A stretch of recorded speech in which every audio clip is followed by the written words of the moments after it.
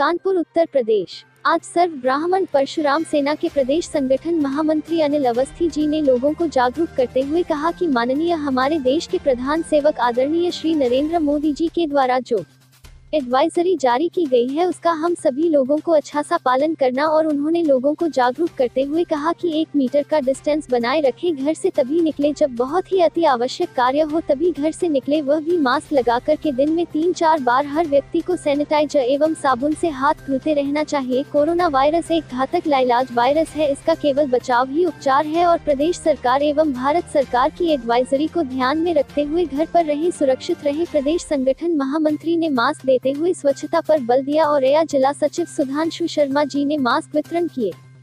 संवाददाता राहुल भारती की रिपोर्ट।